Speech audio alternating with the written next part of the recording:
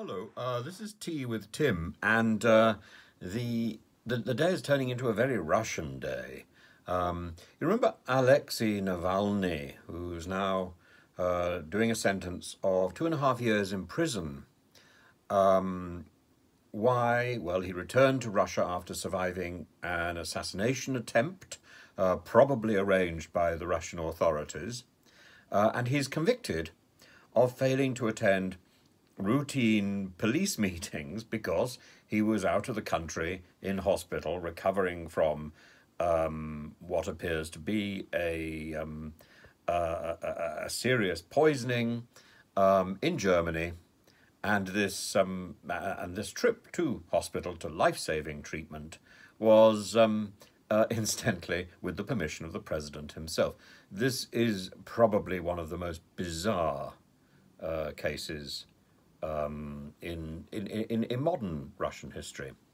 Anyway, uh, his supporters are gradually being rounded up and equally being um, gifted very strange sentences which defy logic. There's a lady called uh, Lyubov Sobol.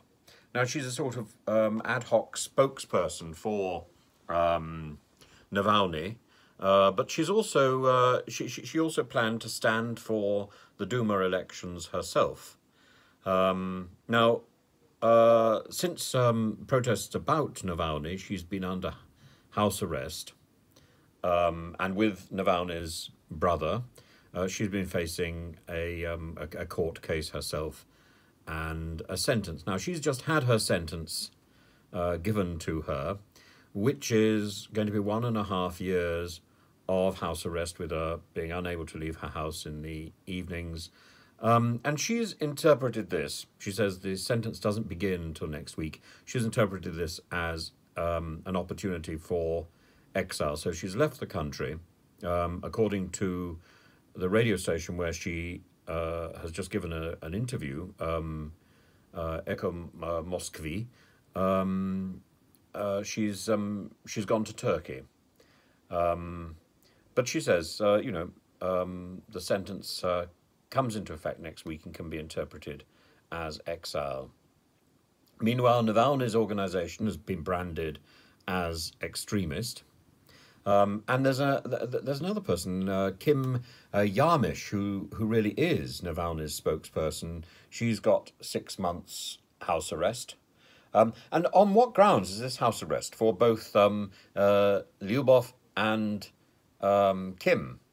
It's because they have um, fallen foul of the COVID regulations. Um, so this borders on, uh, well, you couldn't make it up, really, could you? Um, and, and, there are other organizations like Project and Komanda 29, Team 29, which is a legal defense team um, that's been closed down, and the Project, which is um, uh, uh, uh, an organization which does investigative reports, is also being closed down. Now, um, Lev uh, Shlosberg, um, who's an MP in, in, in the Russian parliament, says that uh, Russia is becoming a gulag nation, and he seems to me to be quite right. We need, so every single nation needs a, um, a vibrant opposition. Uh, power needs to be questioned if it's going to be effective. And if it's not questioned, it becomes tyrannous and chaotic um, and, uh, and abusive. And um, I'm afraid this is, uh, this is probably what we're seeing in Russia at the moment. I, uh, I, will assemble a little more material and, um, and report back later. Um, but for now, have a nice cup of tea and um, maybe a scone. A scone would be very nice. Have fun.